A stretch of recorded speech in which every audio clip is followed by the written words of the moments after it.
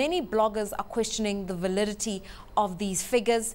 Um, so can you just clarify for us whether or not 17% is a realistic forecast for Eritrea? And then secondly, the estimates used have looked at the combined GDP of Eritrea and Ethiopia. And yet we know historically uh, these are two countries that didn't get on. They were once a united country, but now they're two separate entities. So how have these figures been devised?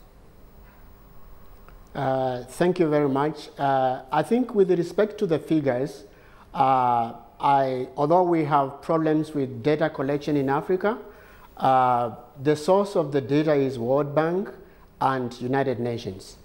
And so they have uh, such a tremendous experience in doing statistics all over the world. And with this experience, they do calculate the numbers uh, throughout world economies and producing development statistics. So these are numbers that we can trust because of the source. The, trust, the source is trustworthy, and so they, they can be relied upon to estimate economic growth for economies. All right, now, uh, go ahead. In terms of the relationship between Eritrea yeah. and Ethiopia. Yes, in terms of the relationship, uh, uh, I think uh, it would be very good and wonderful if we can be able to have these two countries go along together because then they would produce uh, the biggest economy, fastest growing economy in the world. But historically, then of course we have this uh, problem that uh, they have not been getting along very well. But it's, it's some uncertain, such an uncertainty that is not clear whether they can get along and whether the good things happening in both of the economies may not be disrupted by mm. the, their getting along that is not uh, very good. Now, Dr. But we can hope, we, we can hope that um, something will happen because it seems that uh, uh, economies in Africa are getting to understand that mm. Uh, uh, peace brings development right. or you cannot do development without peace. Exactly. And therefore, uh, stopping conflict, focusing on development work, focusing on doing the good things that you are good at is able to produce right. uh, good economy and even development for, for, their, for their citizens. Dr. Mboya, this 17% that's forecast for Eritrea over the next few years, what's going to drive that? We're told Eritrea's got a burgeoning mining sector and the agricultural economy's been doing well. Uh, yes, um, but I, uh, although the agricultural economy has been doing well, I think Eritrea has been embracing uh, some uh, good aspects of uh, economic management and it has resources true. In fact, uh, the driving force of the economy is likely to come from their natural resources. Uh, they are reputed to have uh, gold and mining sector that is beginning to open up and they also have gas. they also have natural resources like fish uh, and in addition, it's uh, also embracing uh, other aspects that drive economies like ICT. They are beginning to use mm. ICT. And so it's more like a market-driven economy more than agricultural-based. I'm curious about that statement. It's more like a market-driven economy. Critics of Eritrea say it's a command economy that is uh, decided by the political imperatives of the ruling party. How do you respond to that? Um, I think my response to this uh, is that uh, given where they are coming from, uh, I think it, it's, uh, it's not, uh, um, it's not uh, something that is strange that they have a command economy, just maybe because they needed such a leader uh, to be able to break up from Ethiopia. But I think also even such kind of leaders can show good economic management. Mm. And so what is important, I think, is uh, if this kind of leaders and the party that leads uh, uh, the economy demonstrates good governance and uh, good management of the resources, and uh, equity in the way they, they do things, they can still be doing very well.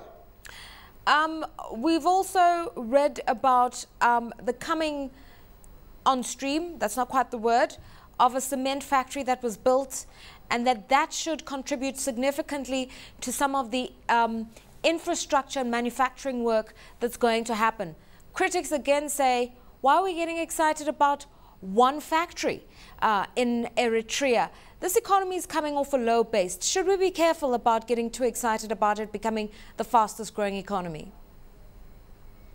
Um, uh, I, I, I, think uh, it's true. It, it may not be uh, such a thing to celebrate about one factory, uh, but uh, it's, it, I think it signifies the beginning of uh, things to happen. Uh, although also on the other hand, we can say that uh, infrastructure is key in driving development. Mm. and so I think this will be a good sign in terms of building the infrastructure mm. and other business infrastructural facilities. All so right it's, it's, it's a good thing. All right, we've got our guest host here and I'd like to pose a few questions to him. A command economy, and for some analysts, that's something to be concerned about. Yet yeah. one would argue China is or was a command economy, yeah. and to some extent India as well. And look at their performance. No, exactly. But I think we need to always reflect that the Chinese and, and Indian success was by the, those command economies, the governments withdrawing and releasing the energy of those, those countries. So the same goes with Eritrea. One gold mine and one factory is not going to cut it. It's a very low base. And if it is a command economy, if, the, if there's a trend towards liberalizing and opening, uh, opening it up and allowing uh, markets to actually function, mm. you'll find that that growth can actually start sustaining. But the moment you start to have a command economy and uh, what, what happens in a, in a market economy, money, capital gets allocated to the best ideas. But in a command economy, capital gets allocated to the biggest bribe. All right, and that's the biggest, the biggest problem is that you start to get inefficient allocation of capital and your ability to fund growth going forward mm. also is um, limited. It also then means inward investment, mm. right, is uh, determined by what is allowed by the politics and you don't get a proper right. uh, um, cross-pollination. And, and so if you start to see it opening up, the growth will attract additional in, um, investment and you will get something that sustains right. itself.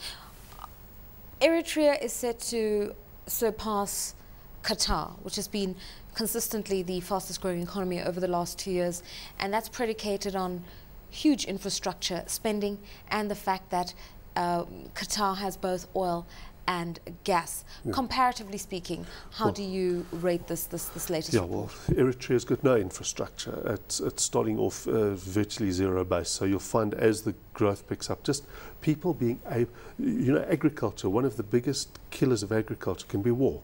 Okay, besides policy issues and, and the fact that they've just stopped fighting a war with Ethiopia, firstly, frees up resources that were being dragged, and it mm. also means that people can say, okay, you can plough the field and at least, you know, not have marauding mm. uh, uh, people coming through there eating what, what, what, what they haven't sown. So that immediately, just people getting back to their normal routines, yeah. you generate economic growth just because of that. And yeah. so a lot of that will be happening in, Ethi- in, in Eritrea. Eritrea. and also Ethiopia. And that's why just that the fact that they're not fighting a war generates economic growth. And then, of course, um, you know, what happens beyond that? Mm. And that's, that's the question is do you actually get that beyond, or does it just stay then as it has been in centuries? These are ancient civilizations. A final comment from you, Dr. Mboya.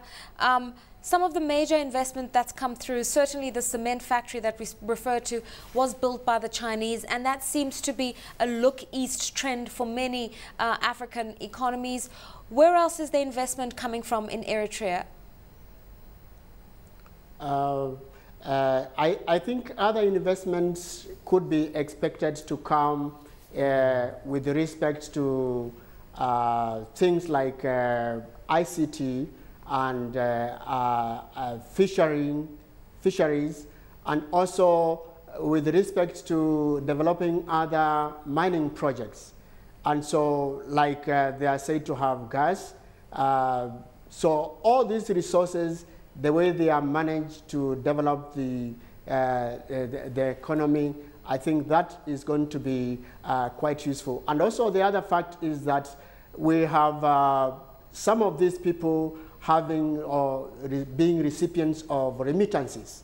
Uh, diaspora people bringing in money and also focusing on uh, the local economy, wherever they are. Mm. This is also something that we are seeing that it's opening small economies even to come up like Eritrea.